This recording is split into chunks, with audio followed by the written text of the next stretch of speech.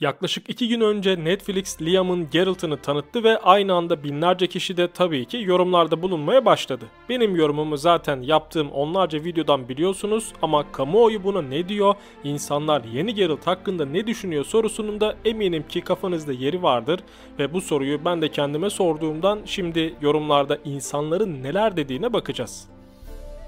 Yazarların diziyi katlettiğini, Henry'nin de ayrılarak çok doğru bir karar aldığını belirtmiş sayın izleyen ve acayip haklı. Ben de bunu söyleyip duruyorum zaten. Henry için yok şöyle zorbalıyordu çekim ekibini yok böyle yapıyordu da iyi oldu ayrılması diyorlar. Ne yaptıysa haklıdır abim. Keşke daha fazlasını yapsaydı da dizi buralara gelmeseydi. Sanatın koruyucusu yüce gönüllü Henry abim be.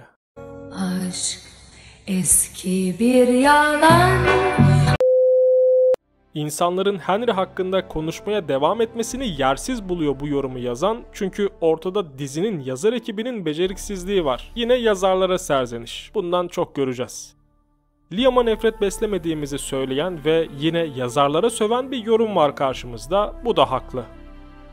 Muz Adam'dan harika bir yorum gelmiş. Büyük şirketlerin efsaneleşmiş IP'leri alıp içine sıçmasına serzenişte bulunmuş. Kimler kimler çöp oldu bu yolda ya. En basitinden Amazon'un yarattığı Yüzüklerin Efendisi buna birinci örnek. İkincisi de bence yine Amazon'da yayınlanan Zaman Çarkı olabilir. Netflix'in çöp ettiklerine ise zaten en başta Witcher'ı yazmak gerekir. Aklınıza eminim ki daha onlarca seçenek gelecektir. Çağ öyle bir çağ ki IP'lerin devasa çöp yığınlarına dönüştüğünü görüyoruz ve gözlerimiz yanıyor. Liam'ı Henry'e benzetme çabaları üzerinden dem vurmuş bu kullanıcı da. Bunun da Liam için bir hakaret olduğunu savunmuş. Tabii ki haklı. Sonrasında da Henry'nin Geralt rolüne girmek için epey çalıştığını, dizinin içinde de evrimleşerek sesini, kılığını oturttuğunu filan söylüyor ki Liam'ın ne yaparsa yapsın bu aşamaya gelemeyecek olmasından bahsederek yazısına devam ediyor. Bitirirken de Liam en azından para alıyor diye söyleniyor. Son olarak da dizinin son kitapların 2 sezon 16 bölüme nasıl sıkıştırılacak konusunda kafası karışmış kullanıcımızın. Kitaplara sadık kalmayacaklar ki. Götlerinden bir senaryo uyduracaklar yine ve aşçı uşağı uçak aşçıya sonra hep birlikte Liam'a doğru uzanan bir şeyler olacaktır senaryoda. Sadık kaldıkları koşulda onca şeyi tek sezona sığdırmalarına imkan yok. Sadece Ciri'nin macerasına odaklansalar bile imkansız bak. Daha arka planda büyücülerin işleri var, Nilfgaard'ın işleri var, efendime söyleyeyim kuzeyin meseleleri, elflerin, Geralt'ın, Zoltan'ın abi dolu ya. Dolu mesele var çözülmesi gereken. 16 bölümde bok çözerler. Rezalet bir şey izletecekler yine. Liam da parasını alıp çekilecek. Koçu olana bak hele. İlk teaser trailer'ı önceki sezonlarda gözden kaçmış bir karakter için yayınlamanız çok hoş olmuş demiş kullanıcı. Billur geçiyor tabii ki. Geçsin, haklıdır. Dizinin potansiyelinden dem vurulmuş burada da. Benim yıllar önce birinci sezon sonrası söylediklerimi hatırlayanlar illaki çıkacaktır. Yani neler bekliyorum neleri karşılayacak acaba bu dizinin ikinci sezonu biraz kararsızım. Ama eminim ki Witcher'ın birinci sezonundan kat ve kat daha iyi olacaktır. Başka şansı da yok açıkçası. İnanılmaz iyi insanlarla çalışıyorlar. Çalıştılar. Bunu zaten sürekli söyledim ama beklediğimizi karşılamazsa da okey deriz. Hani bir sezon daha şans verilebilir. Ya ben veririm. Ben gerçi 7 sezon, 8, 10 sezon bile şans veririm ama söverim. Bak söverek şans veririm. Güzel olmamış diyerek söverek şans veririm. O yüzden buradan Netflix yetkililerine sesleniyorum. Ayağınızı denk alın. Bu kadar.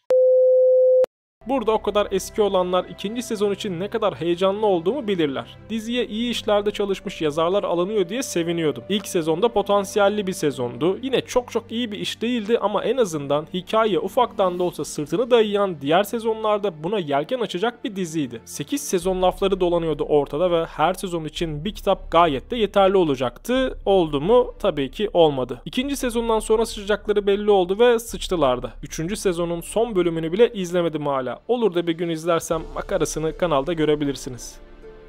Yorumları açık bıraktığın için senden etkilendim Netflix demiş bu kullanıcı da. Ama YouTube zaten küfür, hakaret falan fistan her şeyi engellediğinden Netflix'in kafası en azından burada rahattır. Birazdan Instagram ve Twitter'da neler söylemişler onları da göstereceğim. Aradaki fark evlere şenlik olacaktır. Liam başından beri Geralt olsaydı onu kabullenebilirdik ama Henry öyle bir oynadı ki artık başkasını kabul edemeyiz minvalinde bir yorum gelmiş burada da. Henry'nin işe ruhunu kattığı ve Geralt eşittir Henry kalıbını da kafamıza kazıdığı doğru. Başta ona da çok laf edilmişti ama artık herkes Henry'nin Geralt olduğunu kabul ediyor. Herkes demeyelim de bazılarımız kabul etmiyor çünkü hala. Videoyu izlemeye değil yorumları okumaya geldim diyerek finali yapabiliriz herhalde YouTube kısmı için. En haklısı da budur diye düşünüyorum. Şimdi ufaktan Instagram yorumlarına geçelim. Şenlik şenlensin. Kimse bu Witcher'a tek bir kuruş bile paslamaz. Netflix'in üye kaybı yaşamasını diliyor herhalde. Tabii ki biz de diliyoruz. Topluluk kurallarını ihlal ettiğinden bu Reels'i şikayet ettim demiş ince görmüş ablamız. Harbiden Witcher severlere ihanet gibi bir dizi yaptıktan sonra yapılabilecek en iyi şey Netflix'in paylaştığı her Witcher içeriğini topluluk kurallarını ihlal ediyor diye şikayet etmek olacaktır. Oyunun ara sahneleri bu çöp şovun içinden geçer demiş abimiz. Şaka gibi ama milyon milyar dolar harcanan bu şovun sahnelerine bakıyorum. Bir de ortalama bütçesiyle yeni yeni serpilmeye başlamış bir stüdyo olarak CD Projekt'in 2015 yılında yaptığı işe bakıyorum. Arada dağlar kadar fark var. Ulan fark olur tamam da bu kadar da olmaz be abi. Yine ana şovda fena animasyonlar yoktu bak. Bir de unutmak istediğim, hafızamdan silinsin de kurtulayım dediğim Blood Origin'deki sahne kalitesizliği var işin ucundaki oraya hiç girmek girmek istemiyorum. Allah'tan Nightmare of the Wolf diye bir anime çıkardılar da eli yüzü düzgün tek bir içerik izleyebildik. Yorumları koyacağım dedim de buna denk geldim Twitter'da. Ben güldüm siz de gülün istedim. Bazı yorumlarda da Çin malı Geralt demişler. Cuk oturmuş. Thor neden Geralt of Rivia cosplay yapıyor? Bak buna da çok güldüm. Twitter'da insanlar daha çok mizaha kaymışlar onu fark ettim. Sövenler aşağılara kaymış epey. İlk 32 saniye iyiydi, sonrası it boku gibiydi diyor abimiz ve 32. saniyeden sonra tabii ki Liam'la karşılaşıyoruz. Ardından da Netflix logoları falan fistan. Liam'a çok yüklenilmiş burada bence. Yakışıklı bir abimiz o da sonuçta ama Geralt mı? Değil.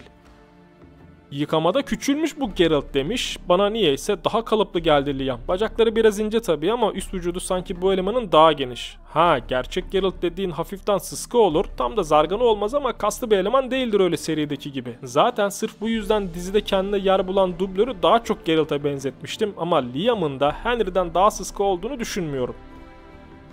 Ne yaptınız? Bu Geralt'ı AliExpress'ten mi aldınız demiş bir kullanıcı var burada da. Bu yorumlardan bin tane var bu arada. Kullanıcıların çoğu Liam'a bu ithamda bulunmuş. Aralara beğenenler de karışmış tabi. Herkes sövmüyor Liam'a ve Show'a. Ama onların Witcher'dan pek anladığını sanmadığımdan buzdağının devasa kısmını sizlere göstermeyi amaç edindim bu videoda.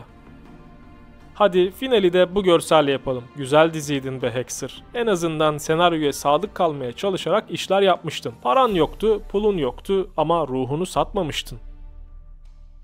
Evet dostlar, Liam'ın Geralt hakkında insanların yorumları bunlardı. Diziye dair yeni bir şey duyurmaları bundan en az 6-7 ay sonra olacaktır diye tahmin ediyorum. El frenimi çektim, gelecek animasyonu bekliyorum. Oradan tam gaz devam ederiz umarım bundan sonra. Şimdilik sizlere veda ediyorum. Bana izlenme kaygısı gütmeden Witcher videoları yapma fırsat tanıyan katıl üyelerime ve her daim izleyerek destek olan dostlarıma teşekkürler. Sonraki videolarda görüşmek üzere, hoşçakalın.